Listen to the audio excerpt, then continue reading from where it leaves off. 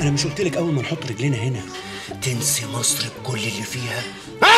أيوه. بس دي ماما وتعبانة جدا والله. بقول لك إيه؟ كون النسوان ده مش هيخش عليا. مش عشان شوية هبل. تبوظي لي كل اللي أنا بعمله.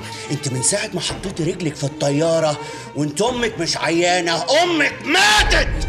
حاضر. هم وأهلك كلهم! حاضر حاضر. وأنا مش هكرر الكلام اللي أنا بقوله ده تاني.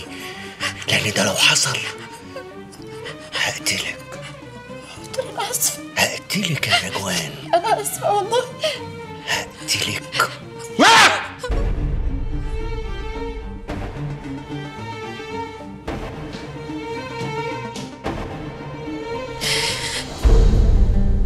بس أنا ترجمت الموضوع في منت وقلت لها رايح فرح. بس كهربة امي يا طاعون زي ما تكون عكشتني مع واحدة. قطعون يدك اداكي ده أنت طلعت كتكوت يا جدع. الله. طب ما تفكك منها بدل ما هي مربية لك الهلع كده. يا طاعون يا طاعون اللي ما يخافش من حرمته ما يبقاش راجل. اللي ما يخافش من حرمته ما يبقاش راجل؟ أمال يبقى إيه؟ جاد شويري أنا عارف بقى. إيه الحكمة الغلط مم. طب أنا أروح أشوف الشغل بقى. الشغل مش عارف أنا إيه حبك في سن المعاشات ده هيما كنت أشغلك بقى في دار الأمل بدل الكباريه ده. اتدلع يا هيما انت منورانا على فكره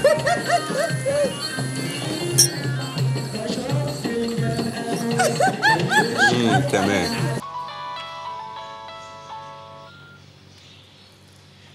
ألو. مساء الخير يا أبلة. مساء النور يا سوكا طمنين عليك انت عاملة إيه دلوقتي؟ أنا كويسة الحمد لله. أه بقول لك يا أبلة أنا ربنا كرمني واشتغلت على عربية آه، كبداكي و- ومش عايز أقول لك بقى القشه معدن والحمد لله. طب كويس يا سوكا ربنا معاك. أه بقول لك ابله وشوية كده إن شاء الله وهجيب أمي ونيجي لأخوك الأستاذ فواز. إن شاء الله يا سوكا. أه بقول لك إيه، وأنا ممكن أطلب من حضرتك حاجة بس بعد إذنك؟ أه ممكن يعني آه، أكلمك من حين للآخر؟ معلش يا سوكا مش هينفع. خلينا كده أحسن لحد ما تعرف تيجي لفواز أه حتى ابله مستخسره فيا المكالمة يا ابله معلش يا سوكا عشان خاطري. ماشي يا ابله أنا آسف يا ابله إني كلمتك. سلام يا ابله مع السلامة يا سوكا. أنا هاخد قميصين النوم دول وهديكي 20 جنيه والباقي على ست شهور. بس انت تستاهلي معانا شوية. ست شهور إيه؟ إحنا قلنا القسط على شهرين وقطعة واحدة بس. هي واحدة. طب اسمعي ما تسمعيش كلام النسوان دول. دول ياكلوا مال النبي. انت جاية تتنصحي علينا ولا إيه يا ست سندس؟ يا أختي وما تنصحش ليه؟ ها؟ عايزة تلبسي المشخلع والملمع وما تدفعيش. السلام عليكم. امشي. بيرن خدي ردي يا حلاوه يا ولاد. آه يا بابي. هايدي يا حبيبتي طمنيني يا روح عاملة إيه دلوقتي؟ الحمد لله يعني هكون عاملة إيه؟ هايدي وبعدين امسكي نفسك بقى اجمدي. ظروف وتحطينا فيها لازم نستحملها. ما أنا مستحملة يعني هو أنا قدامي حاجة تانية أعملها؟ يا أختي احمدي ربنا قولي الحمد لله. غيرك مش لاقي لقمة ولا هدمة يلبسها. أنا بكلمك يا حبيبتي عشان طارق جنبي أهو. وبيقول له إنه عاوز يودي الورق للمحامي الكبير اللي هو يعرفه ونعمل له توكيل بتاريخ قديم. قول لها ده متخصص في قضايا الأموال العامة. شت أنا بسألك رأيك أنت يا حبيبتي خصوصا بعد ما تأكدنا إن نادر ده ملوش أي علاقة بالراجل الجبان أبو نجوان ده. المهم ما عرفتوش إيه الورق اللي هو عايز عليه فلوس ده؟ ما رضيش يفتح بقه من غير ما ياخد فلوس. فأنا يعني قلت نستنى شوية لحد ما نشوف المحامي الجديد ده هيقول إيه. فأنا قلت ناخد رأيك الأول. إيه رأيك؟ نروح له؟ وأنا مش عرفني يا بابي. والله العظيم أنا مش عارفة. أنت شوف إيه الصح واعمل والمهم تخرجني من الكابوس ده بأي شكل. حاضر يا حبيبتي. المهم بس أنت خلي بالك من نفسك. حاضر يا بابي. bye bye. خلاص. ما تكتبهوليش كله. اكتب لي نص البيت. هو أنا صبري معاك طولة السنين دي كلها يعني ملوش تمن؟ والله واحدة غيري كانت راحت عملت لك قضية خلع واتجوزت عيل صغير في سنها يجيب لها العيل اللي بتتمناه من الدنيا. تمن إيه يا ست نورة واللي انت عايزاه وأنا مأجرك من شارع الهرم عشان تقولي لي التمن.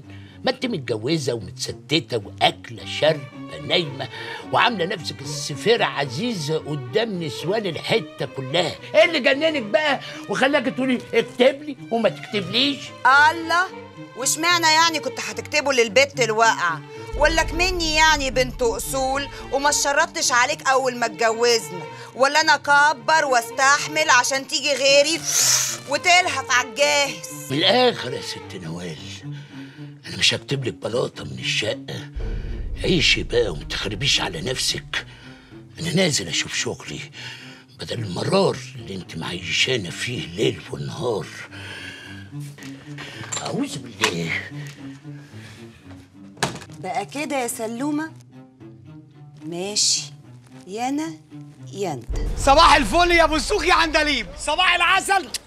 اصحى يا منطقة شاعر مصر أهو. الوراق إمبابة كيت كات منور يا نجم. بقول لك إيه أنا أول مرة أشوفك واقف مكان كبداكي أكل العيش بقى يا نجم. إنما قول لي أنت مختفي فين يعني؟ مشاغل بقى. بقول لك إيه اظرفني نص سجق ونص كبدة. إنما قول لي قبل السجق والكبدة كده. أخبار الفن إيه؟ يا عم بطلت الكلام ده خلاص بقيت شغال مندوب مبيعات. شركة منظفات بلف على البيوت أبيع منظفات وبكسب أكتر. عايز آكل اخلص. هقول لك حاجة نظافة برضو. بقول لك يا نجم ما ترجع تاني الملاعب يا نجم ونعمل دويتو أنا وأنت يا أستاذ. أنت تكتب يا أستاذ وأنا ألحن وأغني قلت يا عم دويتو أنا إيه؟ قلت لك ما بيأكلش عيش. اظرفني سندوتشات. أقول لك حاجة أدي العيش أهو. بص يا أستاذ انت تكتب كوبليه يا أستاذ تظرفني الكوبليه؟ أيوه. أديك واحد سجق. أيوه. تديني بقى الاغنيه أيوه. أديك واحد كبده قلت إيه يا أستاذ؟ يا عم لأجل النبي وقعت الشعر بقى كمان مقابل الغذاء اظرفني واخلص أوه يا أستاذ استنى استنى استنى. ألو. صباح الخير يا سوكا. صباح الخير يا أبلة. وحشاني يا أبلة. سوكا أنا محتاجة لك في خدمة. أموريني يا أبلة. الحاجة انتصار تعبانة قوي وأنا محتاجة أروح لها البيت أطمن عليها. بس جوزها راجل ناقص قوي وطردني المرة اللي فاتت. وأنا مضيت لها التقرير من المستشفى بس هو محتاج يتمضي من الوزارة. ده أنا تحت امرك ده انت تأمريني. أنا هديك عنوان بيتها يا سوكا وقابلني تحت نطلع سوا. طب بقول لك إيه معدي عليكي في المستشفى ونروح أنا وانت لا يا سوكا مش هينفع. وأنا لولا محتاجه لك ما كنتش كلمتك. ماشي يا أبلة. ثواني وأجيلك يا أبلة. goodbye بص يا شيخ جاسم بص حضرتك معايا. دلوقتي شحنة السكر دي هتتكلف 2 مليون يورو. ده من غير الشحن والنقل. ولو أنا هعمل موضوع الشحن والنقل ده الفلوس هتزيد حوالي نص مليون يورو كمان. لو الكلام ده مش عاجبكم وانتوا اللي هتتكلفوا النقل والشحن ادوني بس ال 2 مليون يورو تمن شحنة السكر. بس في بند في العقد بيقول إن أي أضرار أو تلفيات تلحق بالشحنة يتحملها الشيخ جاسم وحده. هذا طبيعي. سبحان الله في طبع أنا هسلمك الشحنة سليمة. خلاص يبقى أنا انتهى دوري. ما أنت عايز مني إيه تاني؟ الله ما ترد يا شيخ جاسم. لا لا اسمع يا أخ مروان. مو معقولة أنا أدفع 2 مليون يورو علشان الشحنة وأتحمل نقل الشحنة بعد وأدفع زيادة؟ لا لا هذا وايد وايد. الله طب أنا هسلمك الشحنة هنا. لا بيعها هنا. يا يبا هني مو محتاجين سكر. إحنا محتاجين السكر حق مصر. أنا مش عارف أقول لك إيه يا شيخ جاسم. يعني انت عايز نعمل إيه؟ هو أنا هكسب من وراك كام يعني لما اضحي بنص مليون يورو؟ أنا مش فاهم بصراحة. لا لا أنا أقول لك أنا قاعد أقول لك هذا المبلغ كبير كبير وايد حتى اسأل الست نجوان. أنت إيش رأيك؟ ما تقولين شيء؟ والله مش عارفة أقول لك إيه يا شيخ جاسم. بص يا مروان خلاص إحنا نتحمل مصاريف النقل والشحن. عشان خاطري بقى يا حبيبي. يا عيني عليك. سكر والله العظيم سكر. بقك ينقط عسل. انت تأمرني يا شيخ جاسم الأمر لله تسلمي. إيش فيك سكت يا مروان ما تتكلم. قول حاجة. لا مش عارف أقول لك إيه يا شيخ جاسم أنت زي ما بيقولوا في مصر مسكتني من إيدي اللي بتوجعني. دخلت لي من نقطة ضعف. نجوان. بعرفش أرفض لها طلب. خلاص متفقين إحنا إن شاء الله. مبروك. الله يبارك فيك. مبروك. إحنا الحين أنا وياك. كنا ضحكنا عليه ها؟